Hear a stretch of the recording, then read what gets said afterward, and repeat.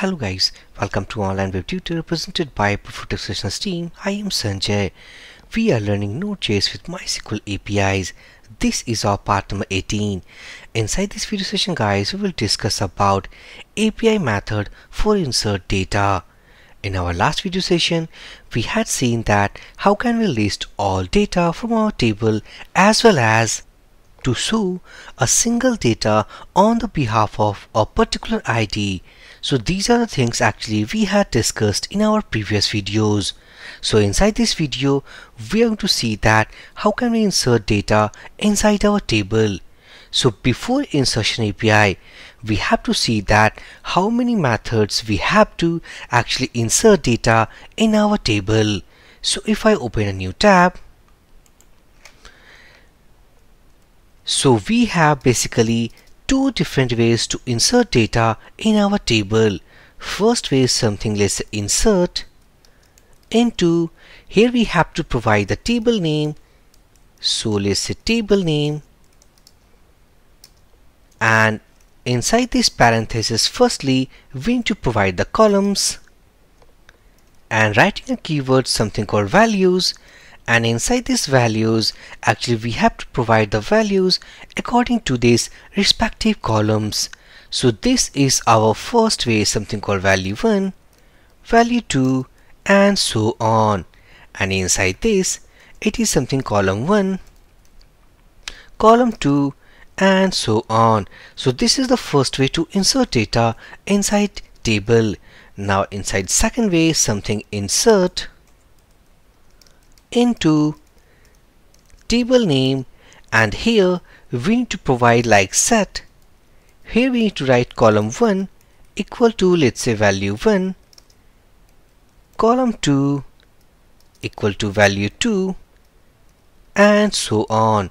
So by the help of these two different methods these two different approaches actually we can insert any data inside any of the table so let's see about these two approaches in action. So back to editor.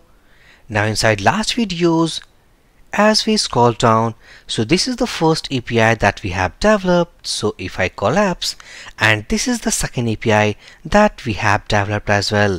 Now inside this, let's say that we are going to insert insert data API method.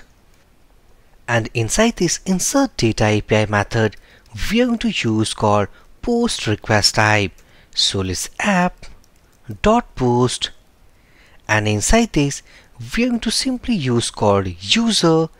And here we need to provide the callback function. It will contain something called request. So this should be something request and response. Now inside this callback function simply write connection. This is the variable actually we had created in our previous video with our valid MySQLi connection. So scroll down. So this is connection dot query. And inside this the first argument we have to provide as the query. So let's say that we are going to use called the first approach so go here, let's insert, let's into the table name we have as TBL users. If I back to Chrome browser, now this is the table called TBL underscore users. So right now we have only four rows of data.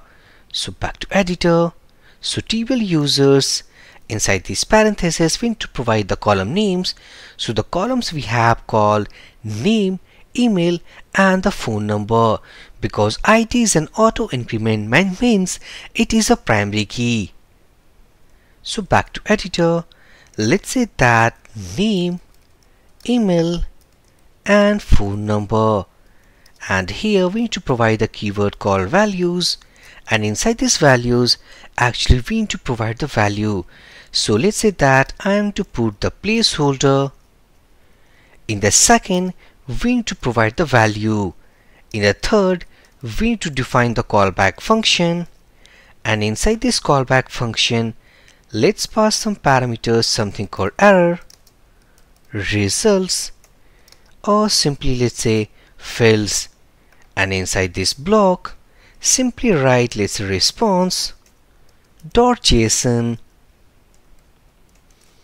let's say status equal to 1 let's message equal to data inserted successfully and inside this data key I'm to provide the result what we are getting via this callback function.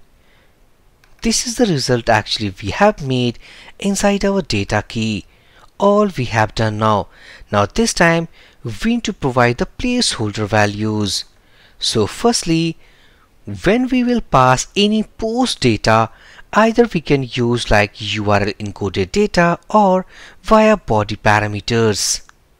So let's say that we are going to provide the parameters like requested parameters like name, email and the phone number via body. So for that we need to install body parser npm package. So if we check inside this package.json already we have done that means already we had installed inside this node application. So firstly we need to import that. So let's say const body parser equal to let's say require body parser and inside this we need to include so let's say that include body parser for body parameters.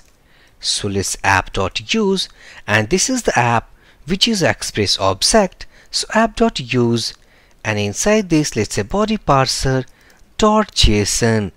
Now it is going to tell our express framework that we are going to pass body parameters as well so scroll down to our code. And here inside this let's say that var name equal to something request dot body dot name. In the same way for the email address so email let's request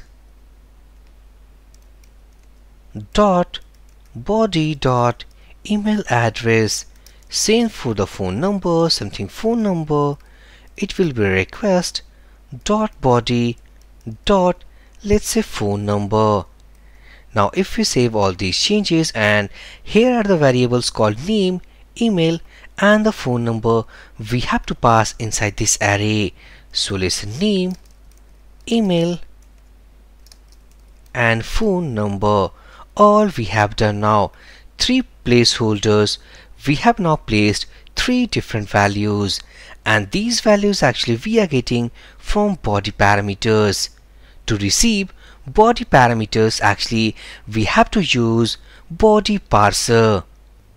So before inserting data to our table so first time if I console.log so let's say that console dot log and inside this simply write request dot body return false. Now we are going to check about what we are getting inside this request dot body. So save all these changes. Now firstly we need to start our server so nodemon and the file I think that index.js pressing enter. Now server is now restarted or started at 5000 port. So if I back to Postman and let's say that simply we need to provide the route is called something post request type and this is the route known as user. So back to Postman we need to change call post request type and this is user. Inside this if I click on send button and before sending any parameters actually we need to pass the body parameters so it is continuously sending. So cancel this request. Go to headers and let's say content type. It should be let's application json because we are going to pass our parameters inside body. So go inside body raw and let's say that name equal to let's say Sunil email address something let's say at gmail.com and let's say phone number and something we have called a dummy value. Now if I click on send button and back to our console, now this is the value actually we are getting when we hit the first time with no body parameters. Now this is our response. In the second, we have passed body parameters called name, email and the phone number. So as we are getting these values inside our console and this is by request.body. So if I make comment of this line, so simply request.body.name will give the value of this name parameter. If we want the same for the email and the phone number, we need to write called request.body.email request.body.phone number. So successfully we have parsed our body parameters and passed inside this connection query.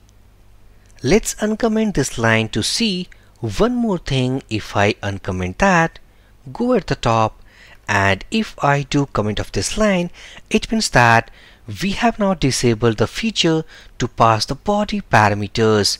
So if we save all these changes, back to Postman, click on send button now inside this, if I back to our terminal, we are getting undefined.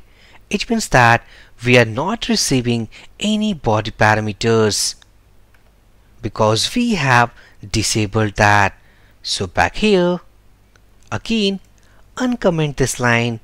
Now we have enabled this feature. Comment of this line. Now we are successfully receiving and this time if I back to our postman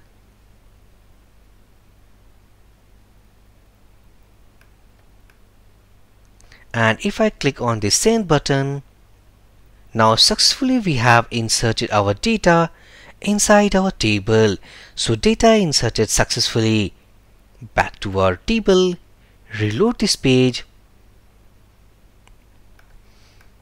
Now we are getting a new row inside this table with the new data. If I back to Postman, now this is the return result via query. Inside this, we can find a important key something insert ID. If I back to table, now this is the row actually inserted with the ID 10.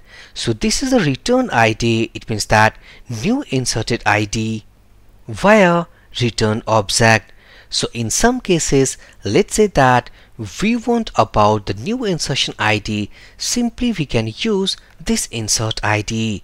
So how can we receive this parameter? Simply we need to write instead of, let's say that simply if we are going to pass let's say insert ID so simply we need to write result dot insert ID all we have done now so back to Postman.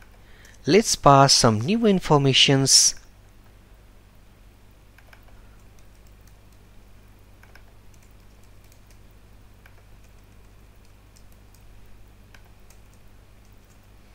Click on send button.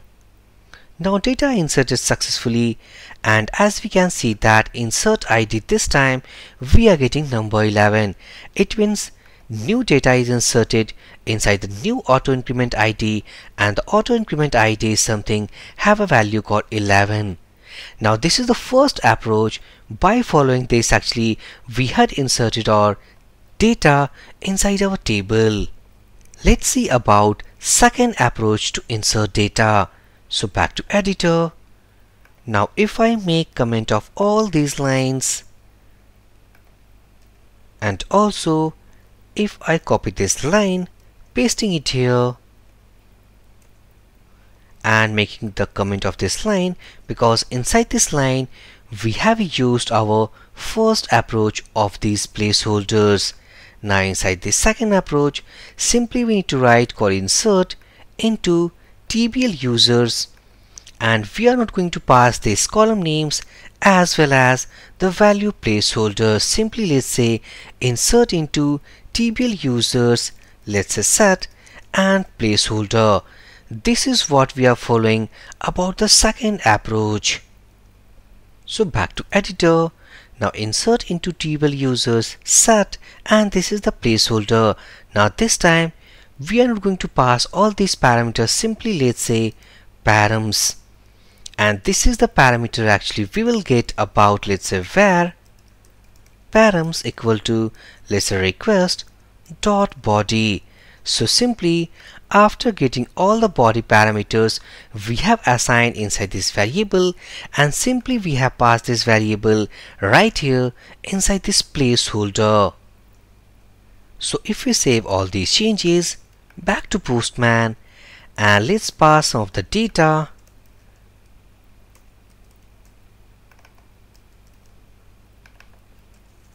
Now this is the data if we click on send button now data inserted successfully.